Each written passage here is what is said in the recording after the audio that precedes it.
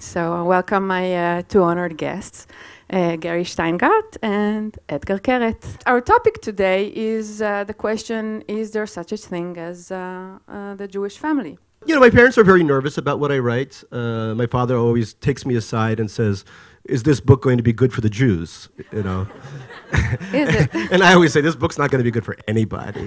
I remember that uh, uh, my mother had uh, an operation, and the doctor said that she had to re- rest for a few days. And when we went down, you know, like uh, to the car, uh, there is this kind of shopping mall in the hospital, and she said, "Yeah, but we have to stop." Uh, uh, for shopping, and I said, "No, you know, you still like, you know, you, you're bleeding," and and uh, and she said, "Just essentials." So we went there, and uh, and uh, she like, you know, she picked bread and stuff, and then she said, uh, "And I need some uh, fro- frozen beans." And I kind of brought her a pack, and she said, "No, not this one." And then she leaned to take another one, and goes, "Oh!" And I said, "Are you okay?" And she said, "And some peas too." It just happened recently because I have a two and a half year old son. Already, like every Jewish kid, or half Jewish, half Korean kid, incredibly anxious, obviously. So we took him outside, and he was like, "Oh God!" Everything was scary. And then he saw a pigeon sitting on a wire, and you know, he ran up to it and he said, "Pigeon, don't fall, okay?" Aren't all of us are very obsessed of um, writing true stories, maybe online memoir or live memoirs in some way? In America, writing a memoir, everyone writes a memoir. You have to. It's part of the the contract of being a writer. Yeah, we love anything that's reality based. You know, I was at a reading in uh, the University of Oklahoma, and this young woman raised her hand and says, "Excuse me, Mister Shitgart, um, Mister Shitgart, um." How do I know when a novel's all true? I mean, uh, how do I know when a book's been fictionated? That's what she said. and I said, Well, if it says novel, it's probably been real fictionated. Uh, and she said, Well, thank you. I won't buy those anymore because I like things to be true.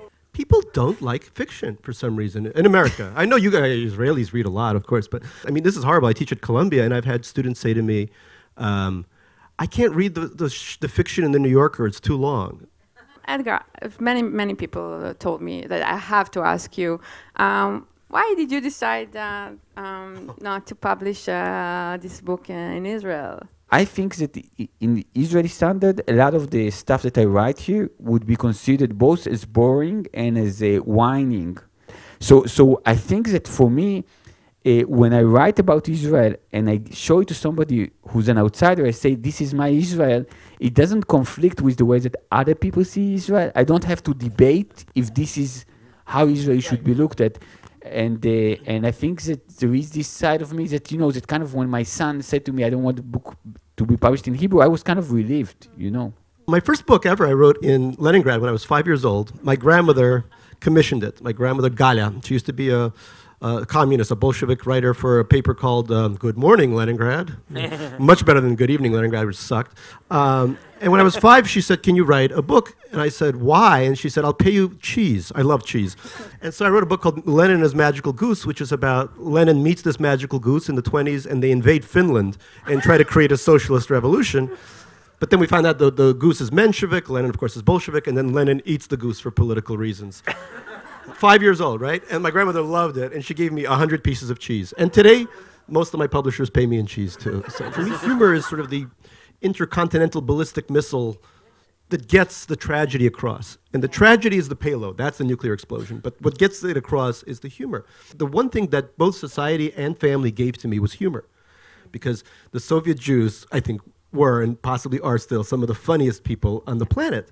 The first memory I have, really memory of, of being with my parents, was sharing an illicit joke about the Soviet Union.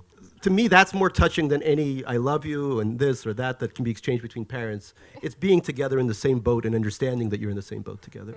Uh, I want to thank uh, thank you, Gary, and thank you, Etgar, and thank you, um, the festival organizers, and thank you And for thank you, Dikla. Yeah, thank, Thank you. yeah.